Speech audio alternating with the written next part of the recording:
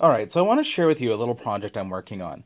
I've become a big fan of the RTL, uh, the Realtek um, RF dongles. The uh, they're actually a DVB. Well, it says right there in the middle, DVB-T plus DAB FM. Um, they're a uh, an SDR essentially, or that's what they're being used as. I bought a, quite a few of these already, and so what I've done here is I've taken a Hammond project case. It's an aluminum case that I'm using for uh, RF and EMI um, isolation to trap it all in the box.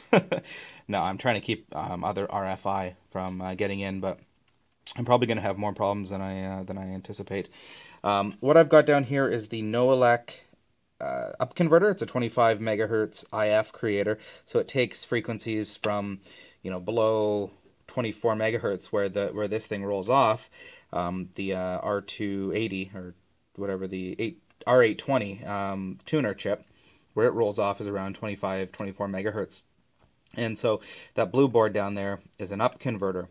Um, what I've done here is I've brought, and I, I, need to make some custom cables. Obviously, these are a bit long, but um, I've got a USB pass-through on the front here, which is mounted like a like an XLR chassis mount would be. And I've got a power pin or power adapter there. It's a 2.1 mil um, coaxial power adapter. And that comes in and that powers this USB powered hub.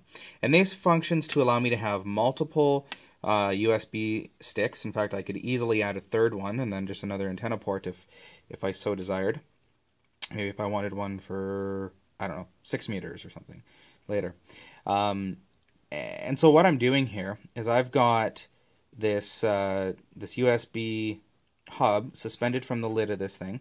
I've just put some uh, used some standoffs to pinch it, and that all comes together here. This uh, cable going to the NooElec that's simply power, and that one I'm going to change out later with a with a custom made shorter cable. Maybe, maybe not. I don't know. Uh, power, of course, going into into this thing. Um, it can be powered from USB, or if you're using it on like a laptop or something and you don't want it draining your battery like crazy, then you can power it from the uh, external uh, power adapter there. So I'm going to give this a, a, quick try, and I'll upload a second video of me uh, of me using it, and we'll swing around the band, see what we've got as far as EMI or, or noise, um, and hopefully it's decent. Um, what I'm going to show you is on this side, I've got two RF adapters. So this one here um, is going to be for 2 meters, 70 centimeters, FM, broadcast band, etc. Um, even uh, even if I wanted to do uh, 10 meters or something like that. The one below here, this is a, an SMA connector that's directly connected to the NooElec up converter.